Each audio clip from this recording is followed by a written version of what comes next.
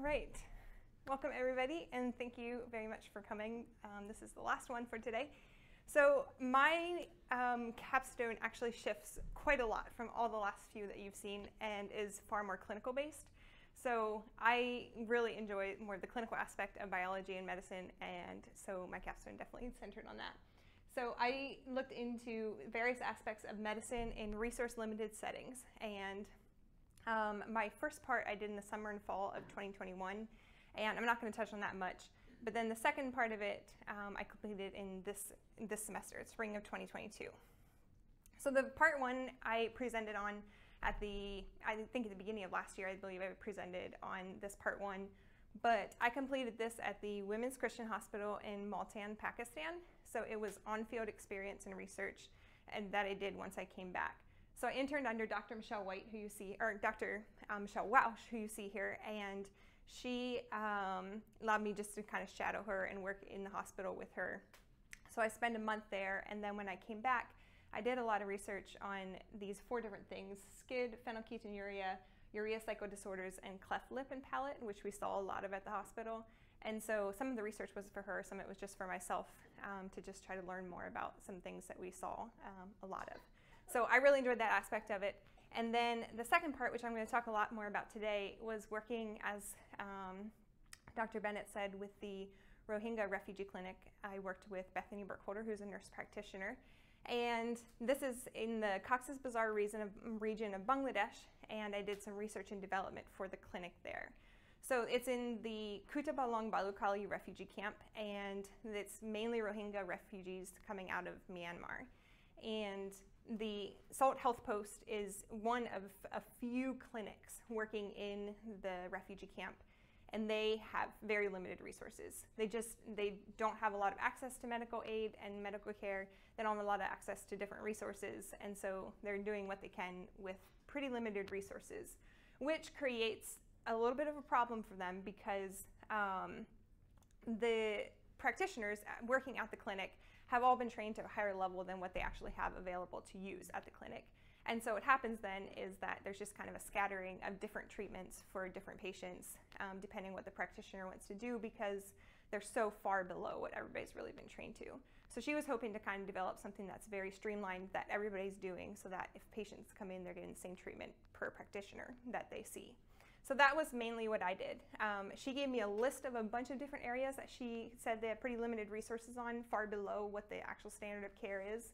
And I chose three of them. I chose burn care um, with limited resources, and then also neonatal nutrition with limited resources, especially when breastfeeding is not an option, and then also management of a goiter um, when thyroidectomy is not an option.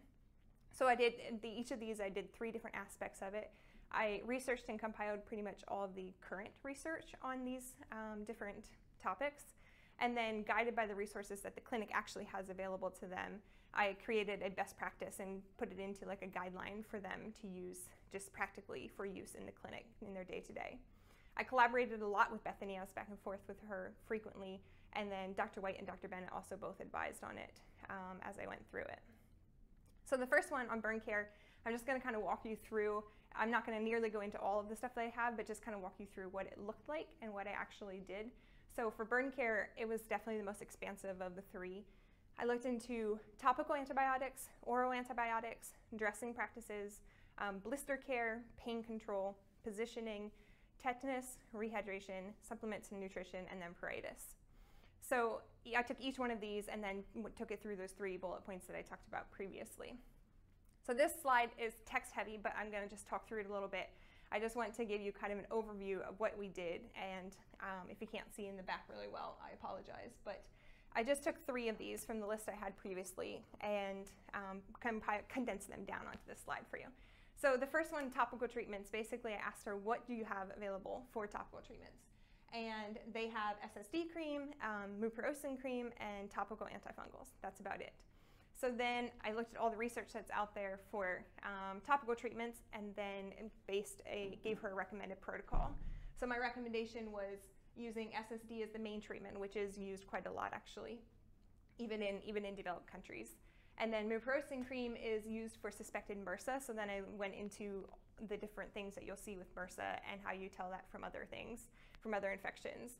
And if they suspect MRSA, this is how they should treat it. And then also looking at fungal infections. And again, if you see these different signs, this is probably a fungal infection and this is how you should treat it. And then going on to dressings, again, just looking at the things they have available, they basically have gauze and gauze bandage rolls and different ointments, which is far, far below the standard of burn care in developed countries where there's numerous different dressings developed and there's gels and there's all these different things that they use now for burns that the clinic just has no access to. So I actually, for this section specifically, kind of went back to older research um, where they didn't have quite as much of the dressings that we have now and based the protocol off of those. So the biggest thing is just keeping the wound clean. So whatever dressings you have available to just keep the wound really clean and then keeping it moist at all times. So using Vaseline with different moisture or with different creams that you're using to um, to make try to keep the wound as moist as you possibly can. And then I get, talked about thickness of dressings, how many dressings they should be putting on, and how frequently they should be doing dressing changes. And just took everything that we have currently and compiled it and condensed it into a protocol for them. Another one was pain management. Um, the options that she originally told, originally told me that they had available was Tylenol, ibuprofen, and naproxen. And these are over-the-counter medications. They are not narcotics. They are not strong. And like for burns, burns are incredibly painful. And the general treatment for burns is narcotics because it's so painful, especially when they have to do dressing changes, which is the most painful portion. So that's all they had. So I looked into all the research out there, and obviously a lot of it was based off of far stronger um, pain management, but found some guidelines for using this and basically dosing it frequently and mixing different types of medications so that you can dose more frequently. One thing that came up often was using benzodiazepines for, for dressing changes because they have some amnesic effects. And so dosing them with benzodiazepines like half an hour or so before a dressing change and then doing a dressing change. And so I asked her if there's any possibility they can access them because they're not as controlled substance as like narcotics. And she looked into it and found that they are actually able to access lorazepam and midazolam, um, which she hadn't even realized that they had access to. So she said, if I'm able to get them to the clinic, will you write a protocol for their use for us? So I said, absolutely. So I um, looked into using both of these medications and doing specifically with dressing changes, but then also combining them with these medications that are so um, that are not very strong, like Tylenol and ibuprofen, and basically wrote up a protocol for doing dressing changes and using these medications. The other aspects of burn of pain management that I looked into was just um, non-pharmacological management of pain, so methods that they can use for managing pain. And this is especially like for kids and dressing changes, like techniques of distraction and um, really talking through it up front and taking breaks and taking it slow and really soaking the dressings before you try to take them off and things like that to just give like some practical things that they can do when you just have no way around that it's just going to be a painful process. I also address just the psychological effects of pain and how they can just be aware of what effects this is going to have on their patients and trying to um, mitigate that as much as possible by just front loading patients and talking through it with them. So that was kind of what the burn. I took I took all those that whole list of things and did this with pretty much every single one of them. Um, made a pretty long um, compilation of everything that was there and then condensed it down into a guideline for them to use as well. I'll talk just briefly getting into more nitty gritty about silver sulfadiazine. Obviously that came up a lot and that's a huge burn treatment um, that I read about so many times and so I just spent more time digging into that to really understand it. This is its chemical structure here and there's kind of a lot going on in this slide but basically um, it works for it's antimicrobial and the way they think it works and some of it some of this they know some of it is speculation it, um, they think it intercalates with DNA and causes DNA denaturation. denaturation. And then um, it also works on proteins to cause structural changes in bacterial cell wall. It works on enzymes. Um, it also releases potassium and does hydrogen bonding. And all of these kind of lead to an efflux of metabolites. It disrupts the respiratory chain, increases free radicals, inhibits cell signaling, inhibits protein synthesis. Basically all these things that a bacteria needs to survive it kind of attacks them, and that's why it works so well in burn wounds to just kind of break down bacteria. It also is suspected that it, they're pretty sure that it inhibits healing to some extent, but when you have either um, the possibility of the wound taking longer to heal or the patient dying from infection, you're going to use it. Like it's a it's the best option that's there. So that's the burn portion. That's definitely what I spent the meat of my time on probably and just dug into the most. Um, secondly was the neonatal nutrition. This portion, um, she had three big things that she was hoping for more research on. Um, so nutrition alternatives to breastfeeding for infants under six months of age, and then boosting breast milk production and also looking into domperidone and metoclopramide, and then inducing lactation in adoptive mothers. So um, actually, I'll go back to that again briefly. They have they have very a lot of difficulty accessing um, formula. It's not a very great option. And so once infants reach six months of age, there's other nutrition options for them aside from formula and breast milk. But under six months of age, you really can't give an infant anything aside from formula or breast milk. And so she said, just do you know of anything? Like look into seeing if there's any other things that they can use um, because it's just so difficult to get formula and they're not allowed to give formula out. So that was what I spent a lot of time on. Again, this is just kind of my big guidelines condensed down. So I'll just walk through them a little bit. The nutrition alternatives to breastfeeding um, for infants under six months of age. Basically, the biggest thing that I found is just really, really actually prioritizing breastfeeding. So sometimes the actual patient saying that they can't um, breastfeed their infants is not a problem actually, but it's just a lack of education. And so the biggest thing to help this age is to really push education for breastfeeding.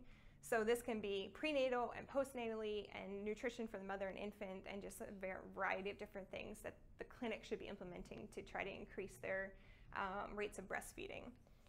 Other than that, then there's donor human milk, and then um, she gave me a list of all of the supplements that they have available, and I compared them to recommended supplements for malnourished infants and kind of up with a protocol. So big ones are infant zinc supplements and vitamin A supplementation are big for infants um, that they find lacking in malnourished infants. And so just the dosings for that, for that, if they have an infant come into the clinic that's really malnourished. For boosting breast milk production then, um, the recommended protocol that I gave them was just a lot of coaching on breastfeeding techniques to actually assess what um, amount of milk that infant's actually getting and to see if there is a problem or not. And then just manually expressing and also talking through like proper attachment of the infant to the breast and then also natural galactagogues, so different things that people suspect actually help boost. There's not a lot of this that's really um, proven, but suspect help to boost breast milk and production basically just throwing out anything available to try to help as much as possible. The third thing is stimulating lactation in adoptive mothers. So if a mother dies or can't breastfeed her baby, they'll try to have somebody else help with it. And there's a whole protocol actually for inducing lactation in a mother who has not given birth. That's in, I put it into the, into the paper itself, and I won't go much in depth with that, but I'll talk about dom, domperidone a little bit later on. But then natural galactagogues, as I talked about before, um, breastfeeding frequently, don't, don't use a bottle, um, and just a lot of encouragement and support for the mother. So again, my guideline is much more in depth and longer than this, but this is a snapshot of some of the things out of the neonatal nutrition.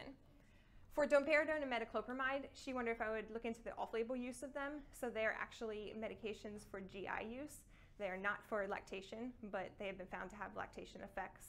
So domperidone is a, um, actually I'll go to this diagram first here briefly. I keep pulling my mouse to the wrong side.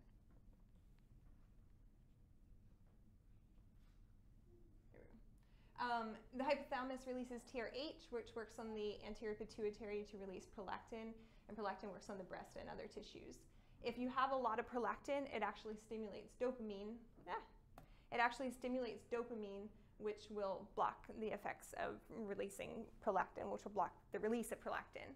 So what domperidone does is it's a dopamine receptor antagonist, so it blocks the receptors on the anterior pituitary to block dopamine from working, while metoclopramide actually blocks the release of dopamine. So they work very similarly. And um, the biggest risk that came up in my research was that sorry, the biggest risk that came up is the risk of prolonged QTC interval, which is a cardiac effect. And so um, it's not a huge, they don't really think it's a big problem for young lactating mothers, but it is something to be aware of. So I just recommended that they do a lot of screening or if they're going to if they're going to give it that they screen for cardiac um, history so do they have any history of having any cardiac disease or family cardiac history which a lot of these patients have never seen a doctor before, and so that's difficult in and of itself. But it still remains a fairly low risk, and so I recommended that they do use it um, and that it should be fine for use. And there is quite a few different places that use them. Domperidone actually works best to stimulate lactation, whereas metoclopramide is more useful when their daily milk supply is decreasing. It can help increase it. So I dug into those two quite a bit um, for her as well. One really exciting part of it um, was a networking um, possibility that I had. And so through a connection from Dr. Bennett, I was able to connect with Dr. Tahmeed Ahmed, who is the executive director of the International Center for Diarrheal Disease Research in Bangladesh. And this is in Dhaka, Bangladesh, and it's one of the biggest research centers for maternal and fetal health in um, Asia. And he is the head of their research on maternal and childhood malnutrition. So it was a perfect connection, and I emailed back and forth with him quite a bit, and he did confirm that there just is not a lot of options for that zero to six month period. But he said the best thing possible is to really, really push a lot of breastfeeding education. That's the biggest thing that they've seen to help. So he connected me with the hospital. They have this ICDDRB has a hospital that they work with that has a lactation consulting um, portion. And he connected me with this lactation consultants who I connected with Bethany and they were quite intrigued with what the clinic is doing and might do some work together there to do have a lactation consultant either come help at the clinic or do some training at the clinic for their staff. So that was a really fun connection that I made and I enjoyed talking with him about it. The third um, portion was goiter care. This one was definitely smaller, mostly because there just isn't a lot to do, honestly, for goiter care. But I looked into types of goiter, causes, diagnosis, and treatment. As you can see, each of these women have a large neck goiter or thyroid goiter. So her question, her big question was, what is um, options for management of goiter when thyroidectomy is not an option? So either they can't pay for it or they just can't access it. But secondly, it might not be an option because if you have a thyroidectomy, you must be on hormones then from there on forward. And so, um, if these patients have a risk of not being able to access hormones after a thyroidectomy, you don't really want to do a thyroidectomy. And these, all these patients are highly at risk to not be able to access hormones later on. So thyroidectomy just really isn't a great option for them. So the two treatments basically are levothyroxine and, carbi- and carbimazole. And there's different types of goiter. So there's euthyroid diffuse goiter, there's a nodular goiter, and then there's a goiter due to hypothyroidism and a goiter due to hyperthyroidism, and then also retrosternal goiter. And so I looked into each one of these and basically the treatments of them. And they're basic, there's not a lot to them. Levothyroxine in general can help shrink the goiter down, um, but as soon as they go off levothy- levothyroxine, the goiter is probably going to grow again. So there just isn't a lot of options, unfortunately, but it was really interesting to look into. I also just looked into, yeah, the causes of it and um, uh, now I'm forgetting the word. Zinc, zinc, no, it's not zinc. There's a deficiency that is often seen that causes these goiters. And um, but it's not it is not a thing in Bangladesh because they um, iodine iodine deficiency wow is often a cause of goiters but not usually in coastal countries because they eat a lot of fish and this population eats a lot of fish. So iodine deficiencies is not the problem um, it can be genetic there can be other causes and they do she said she thinks they see it more than you she's seen it other places so there is likely some environmental or um, genetic factor in the goiter, but not really anything that they pinpointed and not really anything that they can probably do um, about. So this one was just interesting. And um, I did, the big thing I did was definitely talking through TSH and T4 levels. They can test for this, but they don't actually do it very frequently. So just suggesting that they start early testing of TSH and T4 for suspected patients with hypo or hyperthyroidism, because if they start treating these things earlier on, it can actually um, it can actually stop the chances of them developing a goiter. And so um, I gave them a protocol for just these levels and what you want to look at for those. So feedback from her, I was very encouraged by her feedback. She found it really helpful and was really excited to use this. Um, she has some other people she would like to pass some of this information on to. And um, the other the other exciting part of it is that I sent the neonatal nutrition portion to the doctor in Pakistan and that hospital is a um, that hospital is an OBGYN hospital. And she was excited about the information and wondered if there would be any interest in coming back to Pakistan and setting up some type of lactation or um, breastfeeding um, focus for the staff there. So I don't know that I will, but I may pass it on to somebody else who needs a capstone um, project to do. Lastly, a big thank you to Dr. Bennett, who looked over a lot of my information and just fact checked it and looked through sources and things like that. And then also Dr. White was my clinical advisor, I would say, for this. And from her clinical experience and also with her master's in public health, she definitely was able to give a lot of feedback and input into the stuff that I was suggesting and giving.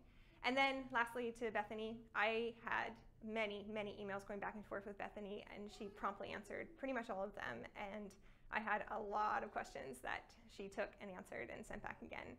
And so I really enjoyed working for her and with her, and I just hope that somehow this project helps her work be a little bit easier. Um, but it was a great honor to work with her, and I really enjoyed it. Lastly, I would just say there's the guidelines that I put on here. I didn't source because they have multitudes of sources. And so if you're interested in reading more or seeing my sources, I will happily send you my paper, but I didn't put all the sources on these slides. Thank you very much. That's all.